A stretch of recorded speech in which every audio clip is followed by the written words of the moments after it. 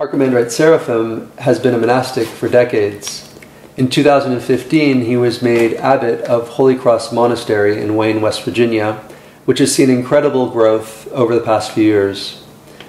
So much so that they have outgrown their, ch- their church.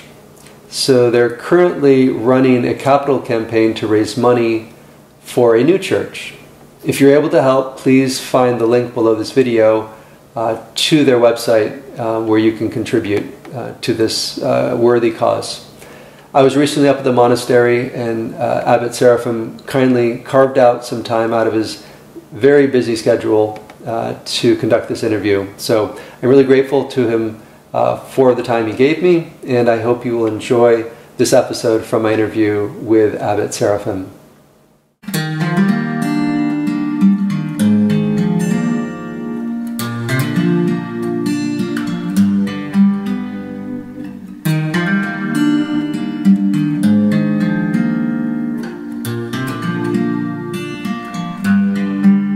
I think uh, I think it's a good question, and, and I run into this all the time.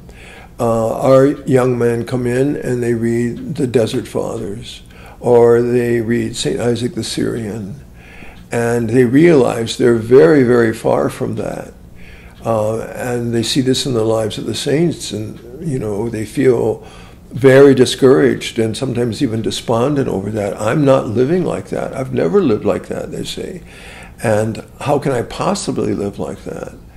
And over the years, I've come to realize um, what I think is, is very important for us all to realize, and that is that we are, we are a damaged culture and a damaged people. Um, and the younger people are even more damaged for all the obvious reasons. Uh, you know, they've grown up in a in a society with, with computers and video games, and uh, I have young men coming in who are addicted to video games and addicted to pornography, and they have no social life at all. Everything is on on their their iPhone. Um, this is really tragic, but not impossible. Um, I, I, firmly believe that our Savior uh, calls these people also to monastic life, and He calls them to a Christian life. I think, in a sense, it's easier for them to become a monastic than to try to live in the world and really um, maintain a Christian life that is free of these addictions that are so plaguing uh, mostly the men in our society. Um, because in the monastery, their iPhones are taken away, the computer's taken away. So that eliminates, and they have no access to it at all. That eliminates that. But then they're left with, well, what do I do with myself all day long? Uh, how do I spend my time? Um, most of them aren't used to reading books. They don't pick up books. They look at things on the internet, but they don't pick up books. So they have to learn how to pick up books and to read. We have a novice reading list for them. They have to pick up their prayer book and read. They have to use their chotki and say the Jesus prayer. And they have to learn how to spend their time uh, away from their addictions. And that's hard for them to do. It's very hard for them to pay attention uh, at private prayer or liturgical prayer. It's very, very hard for them. And the conclusion I've come to is that um, our Savior is all merciful he knows how damaged and broken the young people are today. He doesn't stop loving them, he doesn't give up on them, and so we can't give up on them either. We have to help them to recover from this. Um, and the first thing to, that helps in the healing is to realize what a problem it is. It's so commonplace in our society that um, most people don't think anything about it.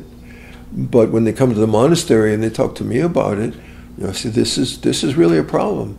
It's not insurmountable, but this is a serious problem that we have to deal with. Whether you're going to be a monk or you're not going to be a monk, we have to deal with this. It's easier if they want, if they, if God calls them and they want to become a monk, because um, it, it's much easier to just separate them from from the technology that's leading to their corruption. Um, but if they're in the world, then it's much more difficult. If, if they choose to stay in the world, it's much more difficult. But I do believe, in a sense, that we're the monks of the last days, and even though we are not um, great ascetics at all, um, what we're fighting against is something that monks before us have never had to fight against. I believe that we are living in the most corrupt society that Christianity has ever known. I realize that's very radical to say. But if you just look at just look at pornography alone, even in pagan Rome, they had to go somewhere to partake in, in satisfying their carnal pleasures. Today, our young people don't have to do our older people don't have to do it. They just pick up their, their iPhone or their computer. And this is this is just pull the ground out from underneath the spiritual life of many, many, many young men and and adults in our society. So the corruption is is devastating to the spiritual life, uh, especially of the men in our culture. It really is. W- women is a women is a whole other issue. I mean, the way women, women dress today and how they're what they're taught is fashionable.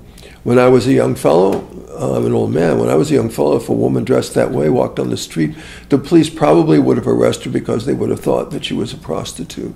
So we're living in a, in a very, very uh, corrupt culture, and and this has to be addressed in the monasteries and people um, who approach monasticism.